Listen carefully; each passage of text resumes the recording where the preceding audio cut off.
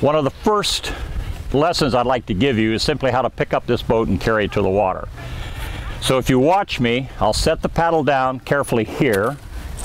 You approach the boat and roll it up on its edge. The whole idea is to put as little stress on your back as possible. Particularly if you have to carry this boat a good distance.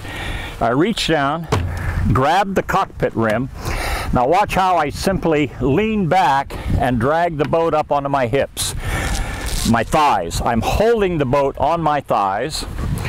I grip the boat with the left hand, and by the way, if I gripped it this way and reached across that way, I'd end up carrying the stern first. So I like to carry the bow first.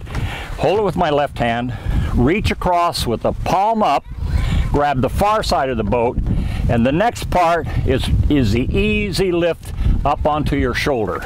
Just like that. You roll the boat up, helping it up with the right thigh or the left, either one.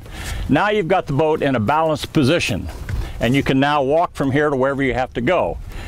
To reverse this, to get the boat down, turn around, face the boat, squat down to drop the boat onto your thighs, let it roll away from you, holding it with arms straight.